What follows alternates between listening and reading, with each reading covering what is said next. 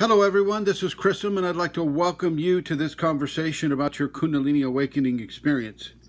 Uh, in one of these experiences, you may find yourself hearing voices in your head. I've discussed this on another video about entities.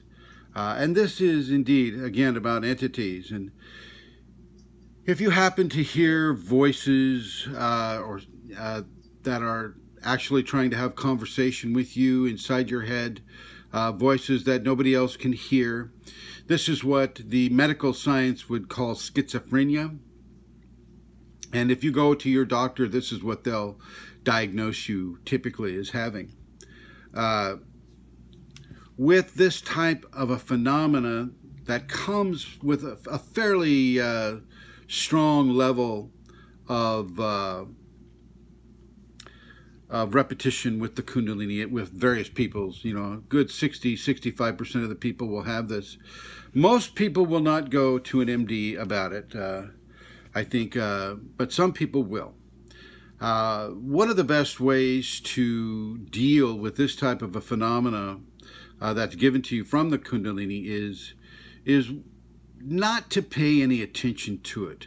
But if you have to, if you if there's something within you that's that's really saying, hey, you know, you got to listen to these to these lies, to these corruptions that these entities are giving you, like, you know, they'll give you something like kill yourself or steal that man's wallet or, uh, you know, trip up that person trying to cross this. You know, they'll give you fairly obvious corruptions uh, to practice in the real world. And what I'm going to suggest you do is I'm going to suggest that you do the opposite. If you feel or if you if you hear inside your head telepathically to to uh, trip up that person going across the street, well then what you may want to do is the exact opposite, which is called this is called the crucible of reversal. So every time that you have an entity telling you to do something terrible, well what you do is you turn that right around and you do something extremely positive with it. So you help that person across the street, you know, if that person requires help. Uh, you you you give of your service into society. You give of your of your plenty. You give of those resources that you have that uh, another person could also take benefit from. Uh, if you're told to uh, to hurt somebody, then you know you need to to help somebody or to heal somebody. Always, always, always within the idea and the understanding that you're doing this as a service to grace, as a service to the grace within you. The crucible of reversal can be extremely helpful for people that are in a current level of possession from these, these uh, spiritual entity consciousness. And the Kundalini, once again, the Kundalini will allow you to have these things in order to test you, test your fear, test your willingness to help under duress, uh, testing you uh, and and your ethics and your values, and you know how much are you going to believe what the negative entities are saying simply because they're coming to you telepathically.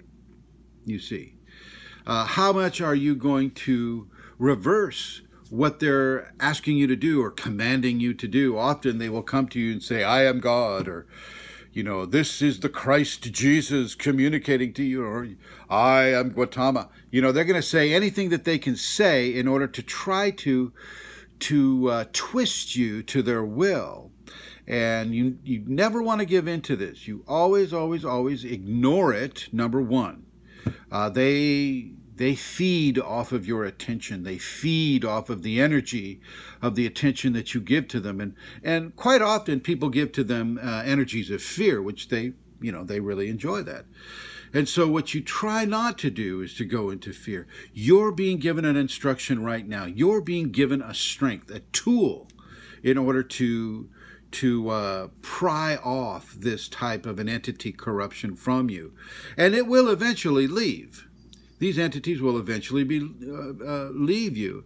The Kundalini will also, uh, as you prove your merit, as you prove your high ethical uh, commitment uh, to the Kundalini, to God, to your fellow human being, to your fellow uh, life form on this world, and I'm talking the animal kingdom, the plant kingdom, the mineral kingdom, as you begin to really, really give yourself into this level of priority, well, then the Kundalini will also lift that availability uh, for for corruptive entity consciousness to connect with you. Uh, really, it's a test, ladies and gentlemen. It is not something that you need to go into a lot of fear over. But I know a lot of you will. So you use this crucible of reversal. You use it, and you use it in a way that allows you to to give grace and give healing and give helpfulness service to other people but also by giving to others you you give to yourself as well.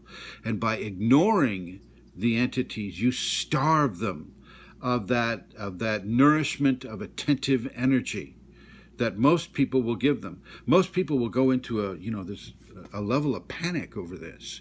Oh my God, I'm hearing a voice. The voice is telling me to, to kill myself or to kill my kid or to kill my friend or, or that I'm worthless and it's cussing at me and nobody else can hear it but me. What the heck is going on? It's an easy way to step into levels of inner panic and often to levels of inner and outer panic. Uh, and, and I want you to, to look at that more carefully and realize that this is merely a test. If you're coming into this information, if you're listening to this video, watching this video, uh, you're ready to have and to wield this level of power over the negative aspects of, of the lower astral that can interact with us as we're coming into our Kundalini bloom, as we're opening up.